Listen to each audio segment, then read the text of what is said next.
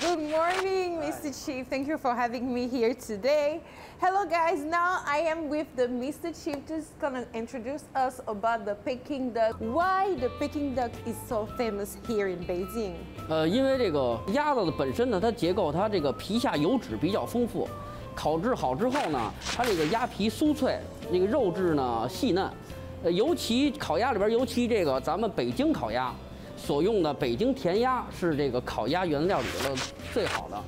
Oh, now I do understand. 哎，您看咱们这个炉子呢，就是咱们焖炉烤鸭这个烤制烤鸭专用的焖炉。呃，咱们这个便宜坊焖炉烤鸭技艺呢，是国家级的非物质文化遗产。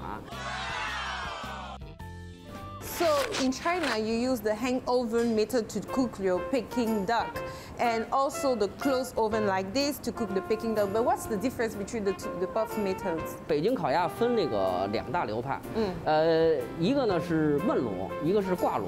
挂炉跟焖炉的区别呀、主要是烤制的时候，挂炉是 见明火烤的，焖炉是不见明火烤。嗯，它全程都是呃先靠压炉预热，然后靠这个压炉的这个炉壁反射的这个温度把烤鸭烤熟的。哦由于它全程不见明火。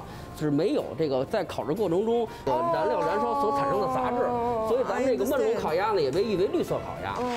接下来呢，我再带您看一下咱们这个焖炉技艺里的片鸭技艺。Oh, okay. Thank you.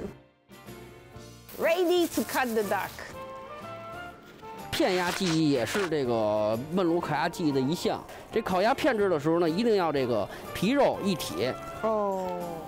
马盘呢一定要薄厚一致，大小一致，它码的码出盘来还会才会好看。So can I try it myself? 啊，好，Oh, I'm so scared. You know, guys, I don't know how to cook. Okay.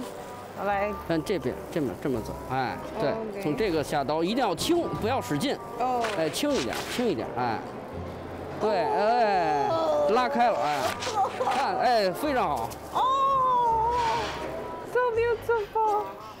Okay, you have to go really slowly. And yeah. Thank you. 哦，It, it's hot. 因为这烤鸭都是刚出炉的，它表面温度非常高，嗯所以这个得经过长时间的练习，才能这个手啊对这个温度才能适应。Oh.